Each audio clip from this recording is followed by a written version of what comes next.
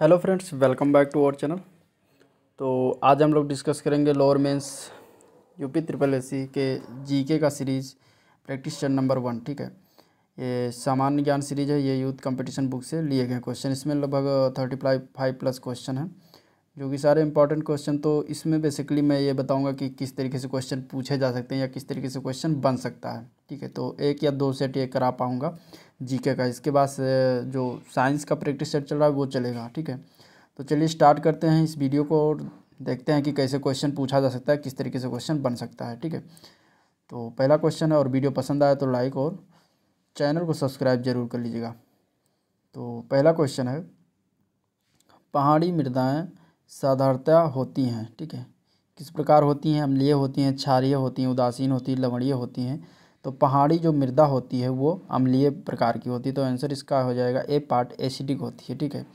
ये मृदाएँ थोड़ी उथली होती हैं, उथली माने उभरी हुई और इनका रंग जो है भूरा होता है या धूसर, भूरा, गहरा धूसर टाइप का होता है।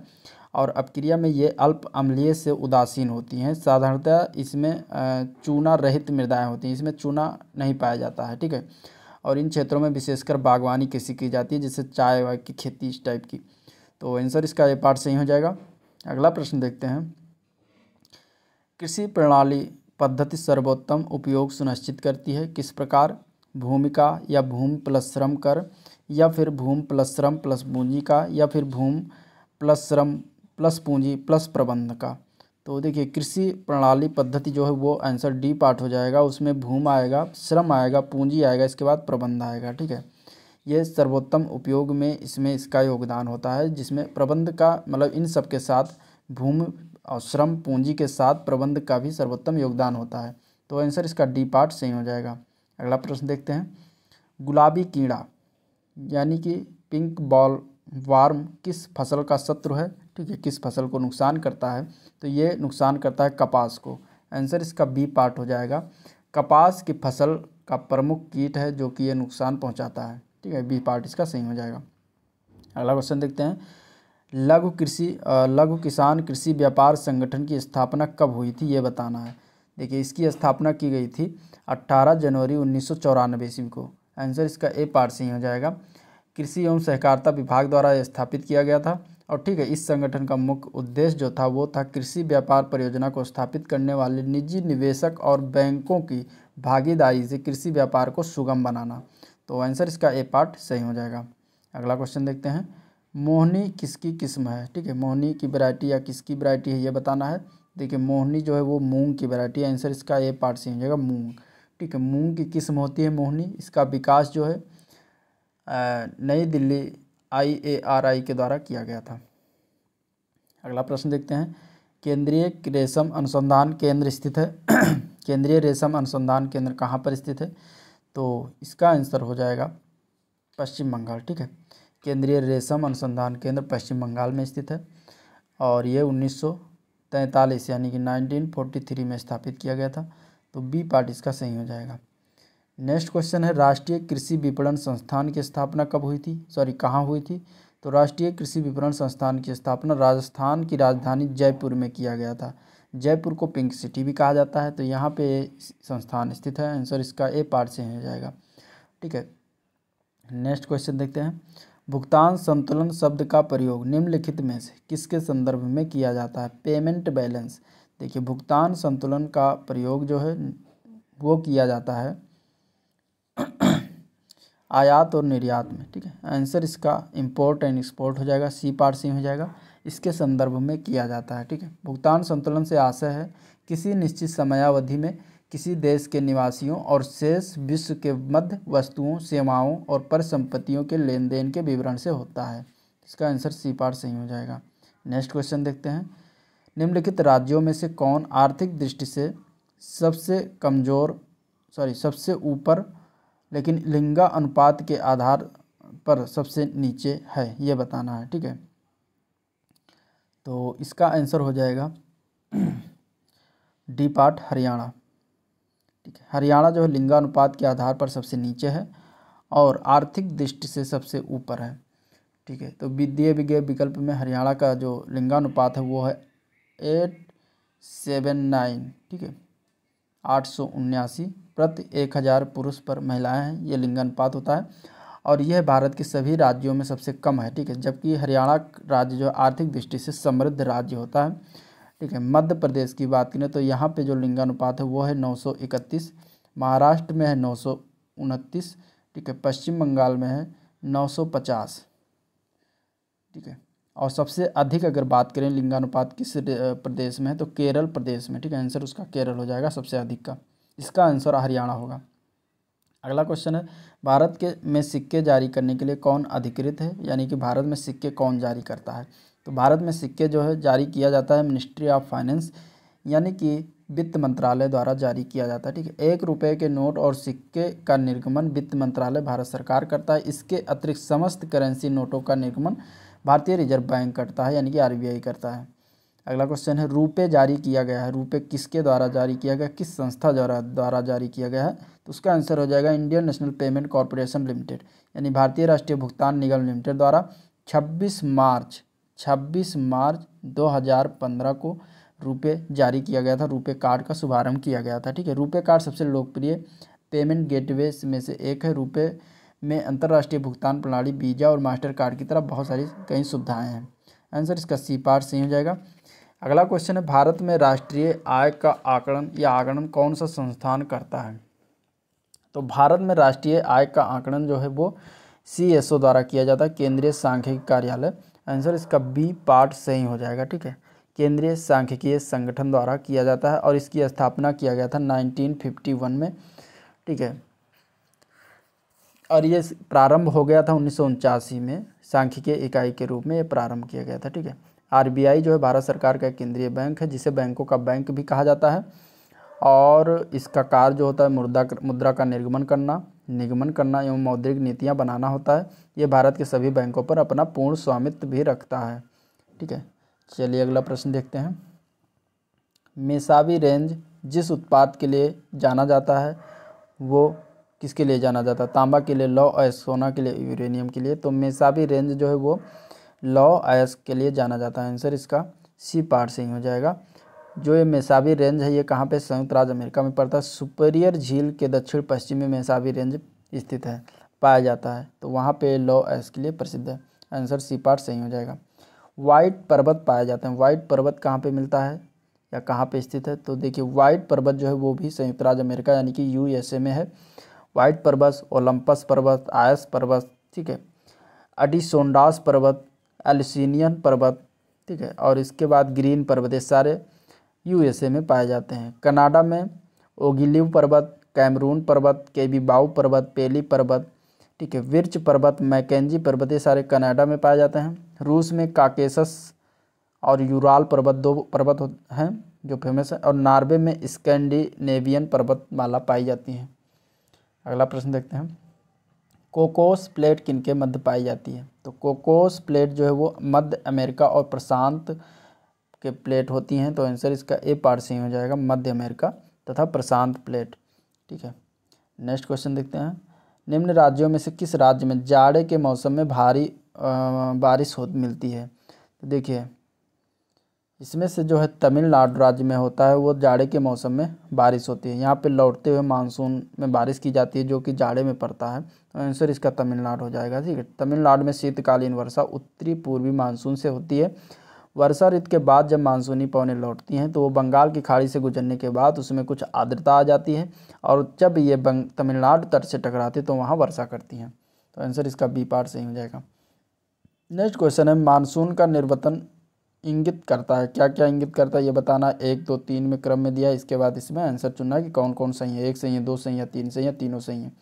साफ़ आकाश से मानसून का निर्वतन इंगित होता है। साफ़ आकाश से ये बताना है। साफ़ आकाश से या फिर बागल बंगाल की खाड़ी में अधिक दाब परिस्थिति या स्थल पर ताप बढ़ने से। तो देखिए, इसमें तीनों आंसर सही हो जाएगा। ठीक है, इन तीनों से इंगित होता है। तो इस प्रकार इसका तीन सी पार्ट सही हो जाएगा। एक, दो और तीन। अगला क्वेश्चन है, निम्नलिखित में से कौन सी प्रक्रिया जल चक्र में नहीं होती? देखिए, जल चक्र में संघनन होता है, अंत स्पंदन होता है, वाष्पीकरण भी होता है, लेकिन संयोजन नहीं होता तो आंसर इसका यही डी पार्ट से हो जाएगा, संयोजन की क्रिया नहीं होती है। जल तीन अवस्थाओं, ठोस द्रव और गैस के रूप में पृथ्वी पर उपलब्ध है। जल चक्र अपनी स्थिति बदलते हुए चलता रहता है जिससे जल चक्र अथवा जल विज्ञानीय चक्र कहा जाता है। ये संपूर्ण प्रक्रिया छः भागों में होती है, ठीक है? पहला है वाष्पीकरण, दूसरा द्रवण, तीसरा है वर्षण चौथा है अंत स्पंदन पांचवा है अपवाद और छठवां संग्रहण। ठीक है? इसमें जो है संरचना प्रक्रिया या फिर संयोजन कंपोजिशन नहीं पाया जाता तो डी पार्ट ही सही हो जाएगा। नेक्स्ट क्वेश्चन है, पश्चिम घाट, पश्चिमी घाट के संबंध में कथनों पर विचार करना। इसमें बताना है कि तीन कथन है तीनों में से कौन सा सही है। ठीक है? इन तीनों में से, पश्चिमी घाट के बारे में। तो देखिए, पश्चिमी घाट के बारे में ये तीनों से हैं। पश्चिमी घाट का संबंध तीनों कथनों से है। एक है भ्रंशोद पर्वत है, ठीक है भ्रंशोद पर्वत होता है, ब्लॉक माउंटेन है। इसका पूर्वी ढाल क्रमशः नीचा होता हुआ पठार है। इसका उत्तरी खंड लावा से अच्छा थे तो तीनों आंसर पश्चिमी घाट के बारे में सही है, ठीक है। नेक्स्ट क्वेश्चन देखते हैं। निम्नलिखित में से कौन सा शहर कर्क रेखा के सबसे निकट है?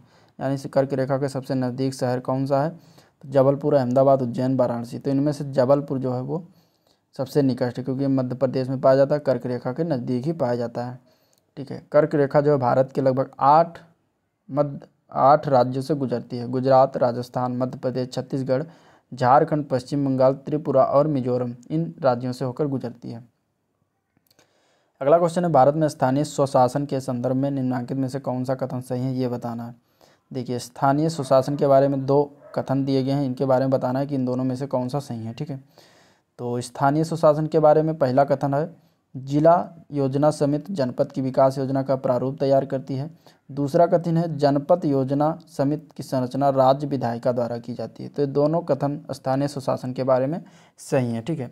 प्रत्येक जिला स्तर पर एक जिला योजना समिति का गठन करेगा, जो ज़िले की पंचायतों और नगर नगर पालिकाओं द्वारा यो, तैयार योजना को संगठित करेगी और जिला स्तर पर एक विकास योजना का प्रारूप तैयार करेगी।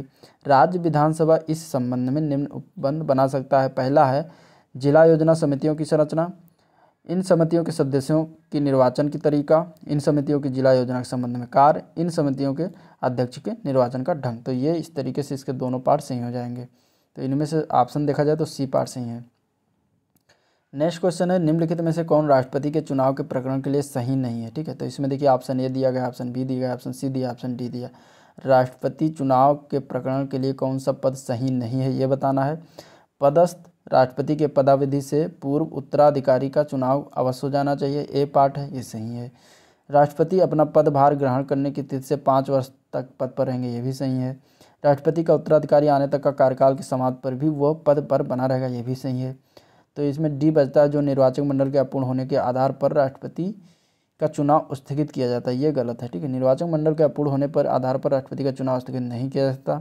डी पार्ट इसका सही हो जाएगा, ठीक है। तो इस तरीके से राष्ट्रपति चुनाव के बारे में हो गया।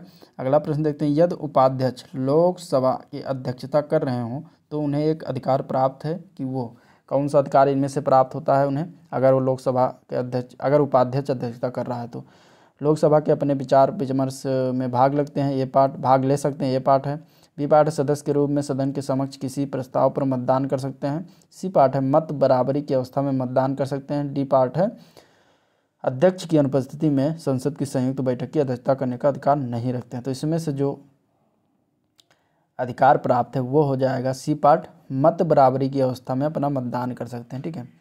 तो इसका आंसर सी पार्ट से ही हो जाएगा।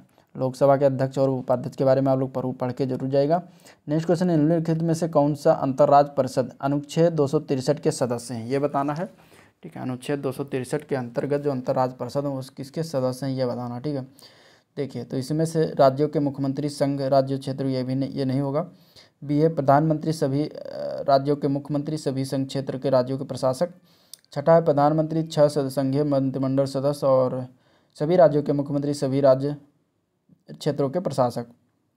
और डी पार्ट है, प्रधानमंत्री लोकसभा में विपक्ष का नेता और राज्य के सभी नेता। तो इसमें से आंसर आपका हो जाएगा सी पार्ट, ठीक है?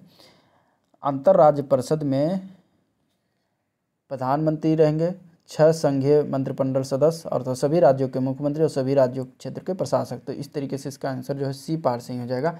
यह अनुच्छेद दो के अनुसार दिया। यदि किसी समय संविधान के अनुच्छेद दो के अनुसार यदि किसी समय राष्ट्रपति को यह प्रतीत होता है कि ऐसी परिषद की स्थापना से लोकहित सिद्ध होगी तो वो अपने आदेश द्वारा ऐसी परिषद की स्थापना कर सकेगा अंतर्राज्यीय परिषद में प्रधानमंत्री तथा उनके द्वारा मनोनीत किए गए छह केंद्रीय कैबिनेट स्तर के मंत्रियों के अतिरिक्त इनमें सभी राज्यों और उन संघ राज्यों क्षेत्रों के मुख्यमंत्री भी शामिल हैं। जिनमें विधानसभा है, जिन संघ राज्य क्षेत्रों में विधानसभा नहीं है, उसमें प्रशासक तथा जिनमें राष्ट्रपति शासन लागू है, उनके राज्यपाल शामिल हैं। प्रधानमंत्री इस परिषद का अध्यक्ष होता है। अंतर्राज्यीय परिषद का मुख्य कार्य जो होता है, वह होता है राज्यों के बीच उत्पन्न विचारों की जाँच करना तथा उन पर सलाह देना होता है। तो इसका आंसर सी पार्ट सही हो जाएगा। नेक्स्ट क्वेश्चन है, निम्नलिखित में से कौन से कर, यानी कि टैक्स, भारत में संघ द्वारा उद्ग्राहित और संग्रहित किए जाते हैं, परंतु राज्यों को सौंप दिए जाते हैं। देखिए, जो टैक्स है, ए पार्ट में दिया गया है, अंतर राज्य व्यापार एवं वाणिज्य के दौरान माल के क्रय और विक्रय पर कर, या फिर अंतर्राज्यीय व्यापार एवं वाणिज्य के दौरान माल पर पारेषण कर, पर कर या सी पाठ उपयुक्त दोनों या फिर डी पाठ उपयुक्त में से कोई नहीं। तो इसका आंसर जो हो जाएगा, वो होगा सी।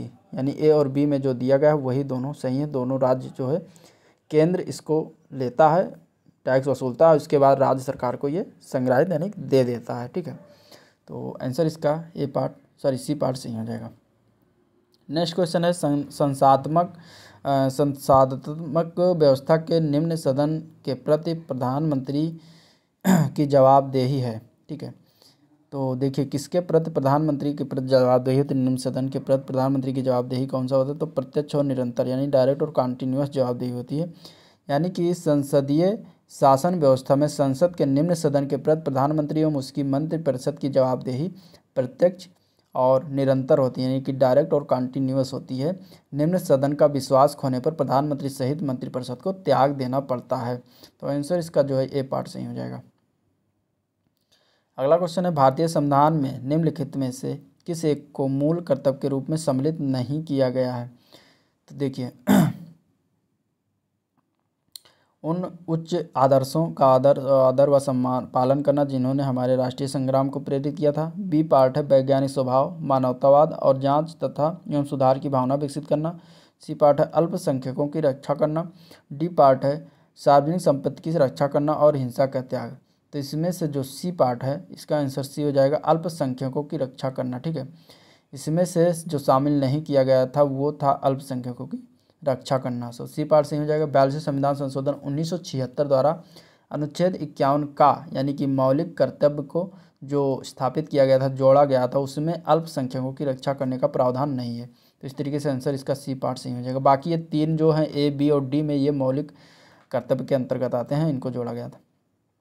नेक्स्ट क्वेश्चन है, संविधान के बयालीस संविधान संशोधन द्वारा निम्नलिखित में कौन सा सिद्धांत राज्य के नीति के निदेशक तत्वों में जोड़ा गया? ठीक है, ये बताना है कि कौन सा बयालीस संविधान संशोधन द्वारा नीति निदेशक तत्वों में जोड़ा गया था? देखिए, पुरुष और स्त्री दोनों के लिए समान कार्य का समान वेतन, बी पाठ उद्योगों के प्रबंधन में कामगारों की सहभागिता, काम, शिक्षा और सार्वजनिक सार्वजनिक सहायता, पाने का अधिकार, श्रमिकों के लिए निर्वाह योग्य वेतन, काम और मानवीय दशाएँ। तो इसमें से जो बताना है कि कौन सा जोड़ा गया था तो उसका आंसर हो जाएगा बी पार्ट, ठीक है? उद्योगों के प्रबंधन में कामगारों की सहभागिता जोड़ा गया। बयालीस संविधान संशोधन को मिनी संविधान भी कहा जाता है, उन्नीस सौ छिहत्तर में हुआ था। इसके द्वारा नीति निर्देशक तत्वों में संशोधन भी किया गया था। इसके तीन नए नियम नीति निर्देशक तत्वों में शामिल किया गया है, ठीक है? पहला है समान न्याय और निःशुल्क विधिक सहायता अनुच्छेद उनतालीस का के तहत यह शामिल किया गया था। इसके बाद दूसरा है उद्योगों और प्रबंध के कामगारों, कर्मकारों का भाग लेना, यानी अनुच्छेद फोर्टी थ्री का फोर्टी थ्री ए या का, जो भी कह लो ये बी पार्ट में जो दिया गया है, इसको जोड़ा गया था। इसके बाद तीसरा है पर्यावरण की रक्षा और सुधार तथा वन जीवों की सुरक्षा, यानी कि अनुच्छेद अड़तालीस का ये भी जोड़ा गया था बयालीस संविधान संशोधन द्वारा। तो इस तरीके से तीन नए नीति निर्देशक तत्व को भी जोड़ा गया था। ठीक है बयालीस संविधान संशोधन द्वारा। तो आंसर इसका बी पार्ट सही हो जाएगा। नेक्स्ट क्वेश्चन देखते हैं तो इनमें से बताना है कौन सा सही सुमेलित नहीं है, ठीक है? बंदी प्रतीक्षीकरण to have the body of परमादेश we command प्रतिषेध टू बी सर्टिफाइड ये भी, यही गलत है, ठीक है? सी पार्ट ये प्रतिषेध का मतलब टू बी सर्टिफाइड नहीं होता, प्रतिषेध का मतलब होता है रिट ऑफ़ प्रोविज़न ठीक है? रिट ऑफ़ प्रोविज़न तो ये आंसर इसका यही सी पार्ट से सुमेलित यही नहीं है, बाकी तीनों सुमेलित हैं। नेक्स्ट क्वेश्चन देखते हैं, गांधी जी ने अंततः सविनय अवज्ञा आंदोलन कब स्थगित किया था? तो गांधी जी ने कब सविनय अवज्ञा आंदोलन को रोक दिया था ये बताना है? तो 1934 में रोका था तो आंसर इसका डी पार्ट से हो जाएगा, ठीक है? छः अप्रैल छः अप्रैल 1930 को, ठीक है? दांडी मार्च, दांडी में, दांडी मार्च करके दांडी में जो है नमक कानून को तोड़कर गांधी जी ने सबने अवज्ञा आंदोलन का प्रारंभ किया था। लेकिन पाँच मार्च 1931 को गांधी और इरविन समझौते के बाद आंदोलन को रोक दिया गया और गांधी जी ने दूसरे गोलमेज सम्मेलन के उपरांत पुनः 1932 में दूसरे सविनय अवज्ञा आंदोलन को प्रारंभ किया और सरकारी दमन के कारण उन्नीस में अंधता सविनय अवज्ञा आंदोलन को स्थगित कर दिया गया था। तो अगर फाइनली इसमें पूछा गया, देखिए, अंधता लिखा हुआ यानी कि फाइनली तो फाइनली सविनय अवज्ञा आंदोलन को उन्नीस सौ चौंतीस में रोक दिया गया था। आंसर इसका डी पार सही हो जाएगा। नेक्स्ट क्वेश्चन देखते हैं। निम्न में से कौन इंडियन एसोसिएशन की स्थापना से संबंध था? ठीक है इंडियन एसोसिएशन की स्थापना किसने की थी? सुरेंद्र नाथ बनर्जी, आनंद मोहन बोस। तो इन दोनों ने इंडियन एसोसिएशन की स्थापना किया था तो आंसर इसका सी पार्ट हो जाएगा। कब किया गया था? छब्बीस जुलाई। छब्बीस जुलाई अट्ठारह को इंडियन एसोसिएशन की स्थापना आनंद मोहन बोस और सुरेंद्र नाथ बनर्जी ने कलकत्ता में किया था। कलकत्ता, ये सब याद रखना है ये सब पूछा जा सकता है, ठीक है? इस तरीके से भी क्वेश्चन पूछा जा सकता है। तो आंसर इसका सी पार्ट सही हो जाएगा। नेक्स्ट क्वेश्चन देखते हैं।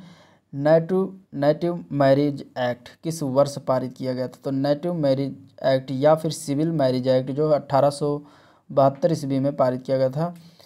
ठीक है इस अधिनियम के द्वारा लड़कियों की विवाह न्यूनतम आयु चौदह वर्ष लड़कों की अट्ठारह वर्ष निर्धारित की गई थी। इस अधिनियम के द्वारा बहुपत्नी प्रथा को भी समाप्त कर दिया गया था। तो आंसर इसका बी पार्ट से ही हो जाएगा। नेटिव मैरिज एक्ट को अट्ठारह में आ, पारित किया गया था। ठीक है, अगला प्रश्न देखते हैं। सॉरी लास्ट प्रश्न है इस प्रैक्टिस सेट का। सत्य शोधक समाज की स्थापना किसने किया था? तो सत्य शोधक समाज की स्थापना ज्योतिबा फुले द्वारा किया गया था। ठीक है आंसर इसका बी पार्ट सही हो जाएगा। और एक कब किया गया था? तो अट्ठारह ईस्वी में किया था इन्होंने। ठीक है बम्बई में। ठीक है बम्बई में ज्योतिबा फुले ने ब्राह्मण विरोधी आंदोलन के रूप में इसको शुरुआत किया था, जिसका उद्देश्य था ब्राह्मणों के आडंबर और उनके अवसरवादी धार्मिक ग्रंथों की बुराइयों से निम्न जातियों को बचाना। ठीक है, इन्होंने अट्ठारह ईस्वी में इनके एक प्रसिद्ध पुस्तक है, गुलामगिरी, जो कि एग्ज़ाम में पूछा गया है। गुलामगिरी, ठीक है, ज्योतिबा फुले द्वारा लिखा गया था तो ये भी याद रखना है, ठीक है तो इस तरीके से आज का जो है practice set set one GK का समाप्त हुआ। आप लोग कमेंट करके फीडबैक दे सकते हैं, ठीक है, और ये जीके के एक दो ही आएँगे, जिससे कि आपको पता चल जाए कि इस तरीके से क्वेश्चन पूछा जा सकता है, ठीक है। इसमें पैंतीस क्वेश्चन है, अगले में भी पैंतीस क्वेश्चन इसी का नेक्स्ट आएगा। जो इसी से रिलेटेड होगा तो उसको भी देखना आप लोग। और वीडियो अगर पसंद आए तो लाइक करिएगा चैनल को भी सब्सक्राइब कर लीजिए, साथ में बेल आइकन भी प्रेस कर दीजिएगा, जिससे कि नया वीडियो अपलोड हो तो आपको तुरंत नोटिफिकेशन मिल जाए। तो आज के लिए निकलते हैं ये भी यहीं पर, और मिलते हैं नेक्स्ट दिन, तब तक के लिए थैंक यू